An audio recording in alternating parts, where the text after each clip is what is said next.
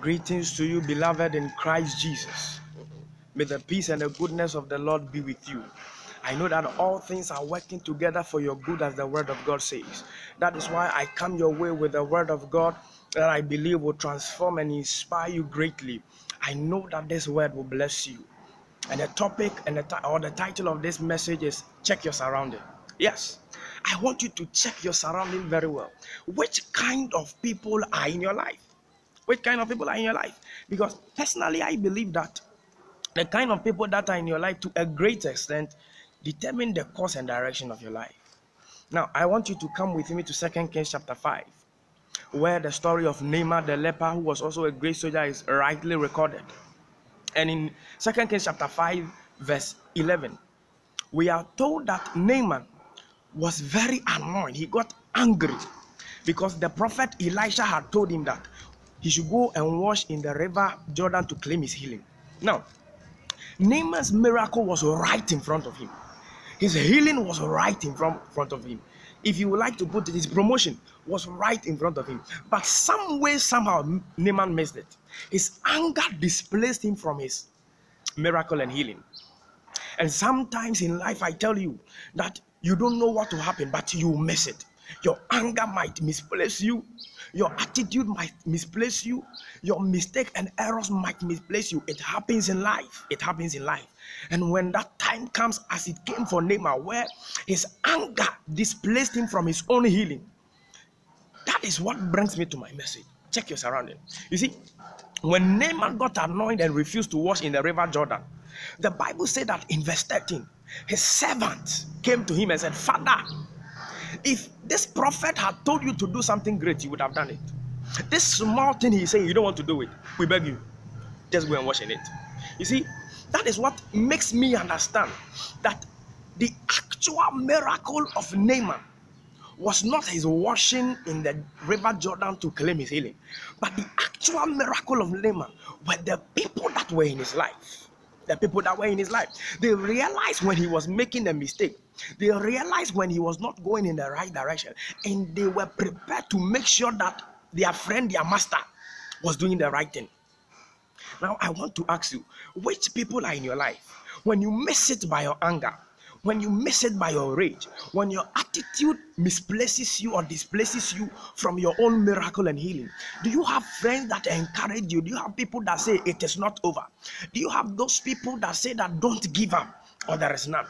check your surrounding because it is not anybody or you, you have to call friend it is not anybody you have to call friend love everybody that one is a command but it is not everybody you must make a friend certain people don't qualify to be your friend i tell you. But everybody qualifies to receive your love.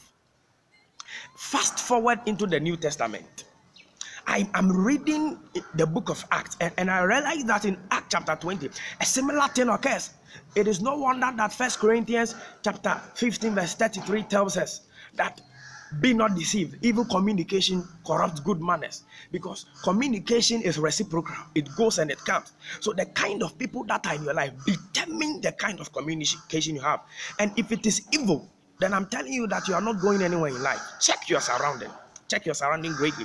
So, fast forward into the New Testament, Act chapter 20, you realize that the Apostle Paul was preaching, and there is a man amongst the congregation, among the people listening to Paul, and the Bible said that he began to sleep, he began to doze off.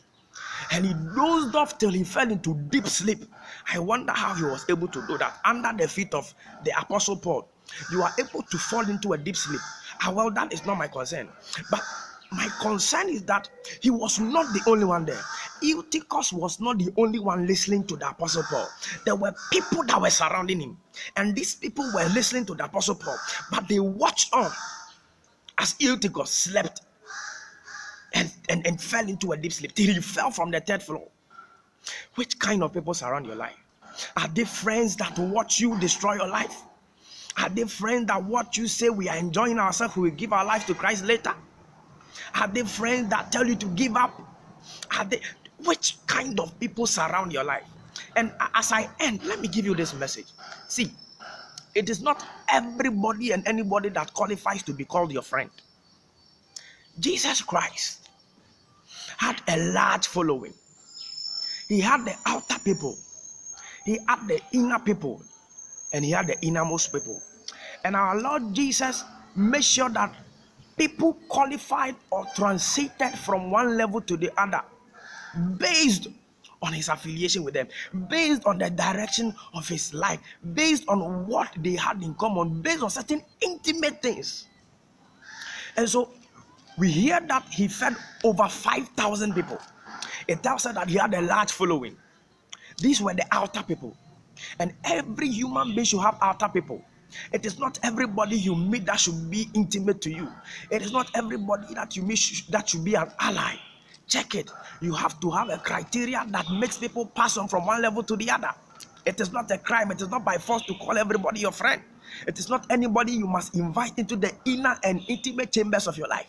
And so we had the 12 disciples. Jesus had the 12 disciples. And these disciples were the inner chamber friends. The 12, out of the lot, out of the over 2,000 people, he had the 12. And it didn't end there. Out of the 12, Jesus had the innermost people, which were the three disciples he went everywhere with. Now, beloved, which people surround your life? Which people do you call friend? Which people do you call friend? Even Jesus Christ applied this principle. He knew who was supposed to be in the outer chamber. He knew who was supposed to be in the inner chamber. And he knew who was supposed to be in the innermost chamber. In the Old Testament, it was only one priest that qualified to go into the innermost chamber. It means that the people that will qualify to come into the innermost chamber of your life are very few. Check your life very well. Because the people that are in your life, they are only in two categories. They are either doors that lead to doom or they are gates that lead to greatness. What kind of people are in your life? Check your surrounding and make a quick adjustment. I come your way with this word to bless you. If you are looking for a friend that should be in the innermost chamber, that friend is Christ Jesus. And I want you to invite him into your life, wherever you, you are. He's already knocking on the tablet of your heart. If only you will open up to him, invite him in your own way. I have no words to say to you, but just invite him and say that Jesus, I want you to come into the innermost chamber of my life. I am tired of human being. I am tired of breakups. I am tired of disappointment. I am tired of the system of this world. I want you to come into the innermost chamber. And trust me, Jesus will come. May the Lord bless you. May the Lord be with you till we meet another time. Shalom.